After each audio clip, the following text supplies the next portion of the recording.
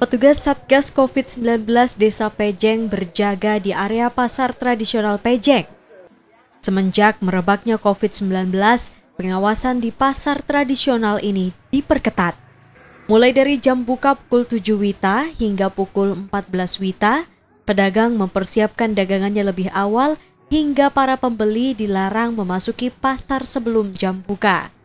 Protap pencegahan COVID-19 pun dilakukan yakni dengan penggunaan masker dan mencuci tangan, serta penggunaan hand sanitizer bagi seluruh orang yang masuk ke area pasar. Untuk mencegah kepadatan, pengaturan pedagang juga dilakukan dengan penataan stand pedagang hingga di sebelah barat pasar. Kita membuat protap untuk di desa, yaitu bagi warga masyarakat yang ada di wilayah kita, terutama yang akan berkunjung atau berbelanja ke pasar, baik itu pedagang maupun pembeli, kita harapkan agar mereka menggunakan masker. Hmm. Yang kedua di pasar juga kita siapkan itu alat untuk pencuci tangan, uh, hand sanitizer, sehingga bagi warga maupun masyarakat yang akan berbelanja sebelum masuk pasar mereka harus dulu cuci tangan, kemudian uh, pakai sabun, Uh, kami sudah atur di sini. Jadi karena pasar kami ada pintu, sehingga kami uh, bisa atur dan beberapa pedagang juga kami pecah.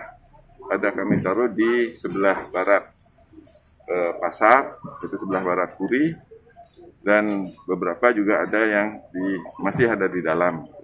Uh, kami akan berlanjut sampai menunggu uh, adanya himbauan kembali dari pemerintah bahwa penyakit virus COVID ini sudah berakhir di hmm. uh, seluruh ya.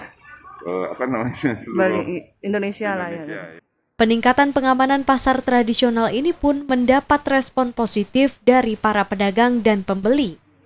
Gimana Bu tanggapan Ibu tentang pemberlakuan menggunakan masker kemudian baik sebenarnya untuk kesehatan kita semua. Hmm uh, Ibu sebagai pembeli, ini kan ada pembatasan waktu, kemudian ada apa peningkatan ini ya untuk menggunakan masker, kemudian harus cuci tangan. Gimana tanggapan Ibu sebagai masyarakat di tengah uh, wabah? Uh, Senang saya gini uh, ada yang ini pakai cuci tangan, pakai masker supaya jaga kesehatan.